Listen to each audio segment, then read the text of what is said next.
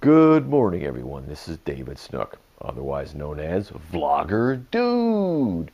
The topic for this morning is memory cards. There are a lot of choices and different types of memory cards out there.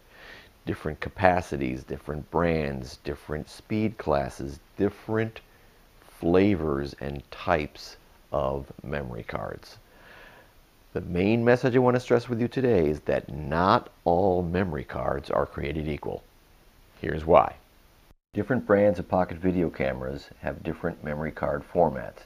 Kodak pocket video cameras are compatible with SD type memory cards. Here is the memory card slot. Kodak pocket video cameras are compatible with three subcategories of SD memory cards.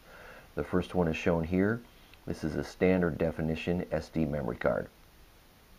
The second subgrouping of memory cards are SDHC type memory cards, and the HC, which is shown here on the label, stands for high capacity.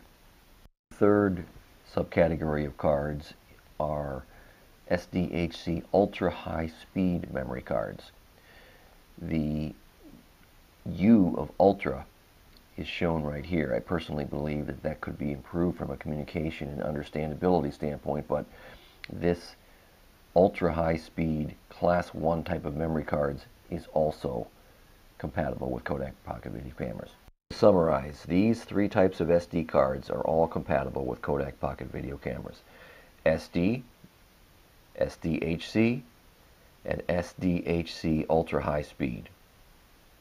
Memory cards to avoid because they are not compatible with Kodak Pocket video cameras are the SDXC memory cards. These will not work with Kodak Pocket video cameras. For the record, Kodak recommends that Pocket video camera customers use SDHC memory cards class 4 and higher.